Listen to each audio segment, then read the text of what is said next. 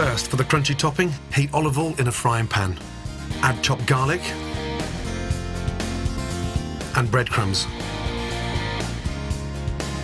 Cook over medium heat until the breadcrumbs are golden. Season and drain on kitchen paper. For the sauce, add the oil from your sardines to a hot pan. Fry finely diced chili and chopped garlic. Next, cook dry spaghetti in boiling water. Then, chop tin sardines into chunks and add to the chili and garlic. Tin sardines are a brilliantly versatile ingredient to have in your cupboard, packed with protein, full of super healthy omega-3 oils, and delicious. Next, drain your pasta and combine with the sardine, chili, and garlic mixture.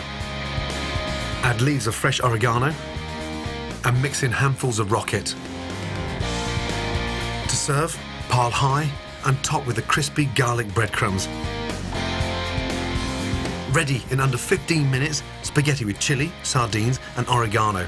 Healthy, hearty and full of flavour, perfect pasta in moments. To the sausage meat sauce.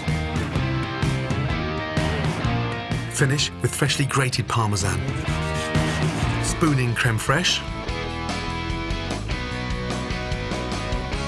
And dot with lumps of creamy ricotta cheese.